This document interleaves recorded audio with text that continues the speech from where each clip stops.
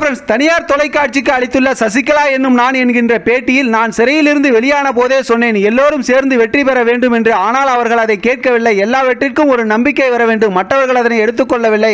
அதனால் தான் தற்போது அதிமுக ஆட்சி போய்விட்டது. அதிமுகவில் இருந்து கொண்டு தன்னை விமர்சிப்பவர்களை நான் கண்டுகொள்வதே இல்லை என்று சசிகலா அவர்கள் அதிரடியாக தெரிவித்துள்ளார்கள். அவங்க யாரு? கட்சிக்கு அவங்களுக்கு என்ன சம்பந்தம் இருக்கு? என அதிமுகவில் இருப்பவர்கள் என்னை விமர்சித்துக் கொண்டிருக்கின்றார்கள். ஆனால் நான் அதையெல்லாம் கண்டுகொள்ளவில்லை. ஆட்சி அதிகாரம் எனக்கு பிடிப்பதில்லை. நான் ஆட்சி அதிகாரம் எனக்கு தேவை என்றிருந்தால் நான் தமிழகம் திரும்பும் போதே நான் ஆட்சி அதிகாரத்தை குறித்து அறிவிப்பு வெளியிட்டிருந்திருப்பேன். ஆனால் இவர்கள் எல்லாம் என்ன கூறினார்கள் என்றால் நீங்கள் வர வேண்டாம். அப்பொழுதுதான் அதிமுக வெற்றி பெறும் என்று கூறியிருந்தார்கள். அதனால் தான் நான் ஒதுங்கி இருந்தேன் ஆனால் அவர்கள் தற்போது தங்களுடைய சுயநலத்துக்கான செயல்பாடுகளில் ஈடுபடுகிறார்கள் என்ற எல்லா தகவல்களும் தற்போது அதிமுகவுடைய தொண்டர்கள் எனக்கு கடிதத்தின் மூலமாகவும் தொலைபேசி மூலமாகவும் கூறும் பொழுது நான் மிகப்பெரிய ஒரு தவறு செய்துவிட்டேன் என்பதை தற்போதுதான் உணர்கின்றேன். எனவே தான் தற்போது அரசியல் வருகை குறித்து என்னுடைய தகவல்களை நான் வெளியிட்டுக் கொண்டிருக்கின்றேன் என்று அதிரடியாக அவங்க சொல்லியிருக்காங்க. நாம் சொல்லிவிட்டோம் என நினைத்து கொள்ளலாம். பொதுமக்கள் எல்லாவற்றையும் பார்த்து கொண்டு தான் இருக்கிறாங்க அப்படிங்கிறது யாரும் மறந்துடக்கூடாது. உங்களுக்கும் அதிமுகவுக்கும் என்ன சம்பந்தம் இருக்குன்னு சொல்லி இவங்க கேட்குறாங்க. ஆனால் நான் எவ்வளோ காலம் அதிமுகவில் இருந்தேன் எப்படிப்பட்ட பணிகளை செய்தேன் அப்படிங்கிறத அதிமுகவுடைய உண்மை தொண்டர்களுக்கும் பொதுமக்களுக்கும் நல்லாவே தெரியும் அப்படின்னு சொல்லி சொல்லியிருக்காங்க. என்ன நடந்தது? என்ன விமர்சிப்பவர்களுக்கு மனசுக்கு சந்தோஷத்தை கொடுத்திருக்கலாம் ஆனால் அதை பற்றியெல்லாம் எனக்கு எந்த ஒரு கோபமோ வருத்தமோ இல்லை. எதிரியாகவும் நான் அவங்கள நினைக்கவே இல்லை. என்னை பொறுத்த வரைக்கும் அதிமுக வெற்றி பெறணும் மக்களுக்கான ஆட்சி அமையணும் அப்படிங்கிறது மட்டும்தான் என்னுடைய நோக்கமாக இருந்துச்சு. ஆனால் அந்த விஷயத்தில் தற்போது மிகப்பெரிய ஒரு பின்னடைவு ஏற்பட்டு அதிமுக என்ற கட்சியே இல்லாமல் போயிடுமோ அப்படிங்கிற ஒரு பெரிய அதிர்ச்சிகரமான பயத்தில் தான் தற்போது என்னுடைய அரசியல் வருகை குறித்து நான் பேசியிருக்கிறேன் அப்படின்னு சொல்லியிருக்காங்க.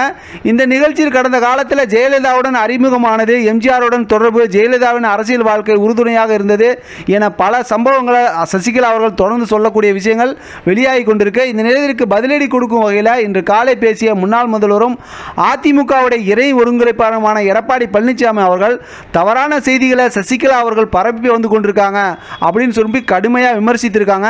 அதோடு எவ்வளோதான் தவறான கருத்துக்களை அவங்க சொன்னாலும் சசிகலாவால் அதிமுகவை வீழ்த்த முடியாது அப்படின்னு அவங்க சொல்லியிருக்காங்க. இந்த நிலையில் தான் யாரையும் எதிரியாக நினைக்கல.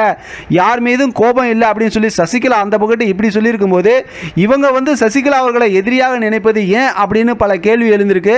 சசிகலா அவர்கள் அதிமுக குறித்து கேட்கக்கூடிய கேள்விகளுக்கு பதில் சொல்ல வேண்டும் ஒரு நிலையில் எடப்பாடி இருந்துக்கிட்டு சசிகலா அவர்களை விமர்சிப்பது ஏன் அப்படின்னு சொல்லிட்டு தற்போது பலரும் தங்களுடைய கேள்வியை முன்வைக்கிறாங்க. இதையெல்லாம் வச்சு பார்க்கும்போது சசிகலா அவர்கள் யாரையும் எதிரியாக நினைக்கல. மாறாக அதிமுக தொண்டர்கள் வஞ்சிக்கப்படுவதை தான் அவர்களால் பொறுத்துக்கொள்ள முடியல அப்படிங்கிறது திட்டவட்டமாக தெரியுது. இந்த நிலையில் சசிகலா அவர்களுடைய அரசியல் வருகை குறித்து அறிவிப்பு காலியான பிறகு சசிகலாவிடம் சரண்டராக போக போவது யார் அப்படிங்கிறதான் தற்போது போட்டியாக இருந்து கொண்டிருக்கு. ஓபிஎஸ் சிபிஎஸ் இடையே அந்த போட்டி அதிகரித்திருக்கு அப்படின்னு சொல்லப்படுது. ஏன் அப்படின்னா எடப்பாடி அவர்கள் சசிகலா அவர்களை வெறுமனே பேசுவார்களே அரசியல் அரசியலுக்கெல்லாம் வரமாட்டாங்க அப்படி தான் ஏற்கனவே சொல்லியிருந்தாங்க. நிலையில் தற்போது சசிகலா அவர்கள் தொலைக்காட்சிக்கு நேரடியாக பேட்டி அளித்து தங்களுடைய அரசியல் வருகை குறித்து உறுதிப்படுத்தியிருக்காங்க.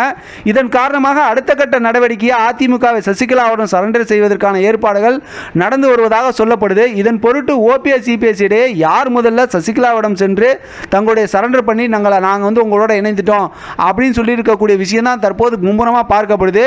ஆனால் ஒரு கருத்தும் நிலவி கொண்டிருக்கு. அது என்னன்னா எடப்பாடி இனிமே அரசியல் வருகை குறித்து சசிகலாவின் அறிவிப்பை பொறுத்தோ இதனுடைய தகவல் தெரியும் வரை என்று அந்த இந்த விஷயங்களுக்கு வந்து சொல்லப்படுது. ஏன் அப்படின்னா சசிகலா அவர்கள் அரசியல் வருகை குறித்து எப்போ அறிவிக்கிறாங்களோ அதுக்கப்புறம் தான் எடப்பாடி முதல்ல சேருவாங்களா அல்லது வந்து ஓபிஎஸ் சேருவாங்களா அப்படிங்கிறது தெரியுமே தவிர தற்போது இருக்கிற வரைக்கும் எடப்பாடி தொடர்ந்து வந்து சசிகலா அவர்களை விமர்சித்து கொண்டு தான் இருப்பாங்க.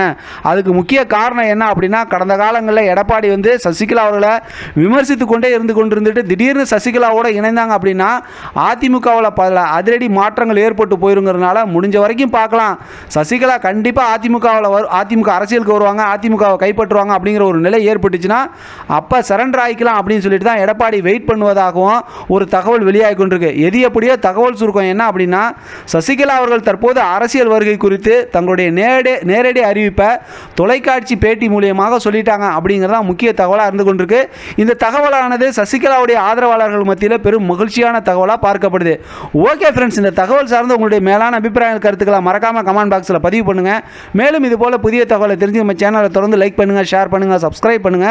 கூடவே மறக்காமல் பெல் பட்டனை கிளிக் பண்ணுங்கள் தேங்க்யூ ஃப்ரெண்ட்ஸ் தேங்க்யூ விவர்ஸ்